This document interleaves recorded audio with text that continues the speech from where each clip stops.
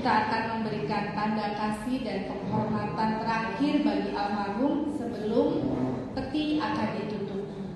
Saya perlikan, saya persilahkan terlebih dahulu untuk keluarga, kerabat untuk mengambil foto terlebih dahulu. Dimulai dengan keluarga inti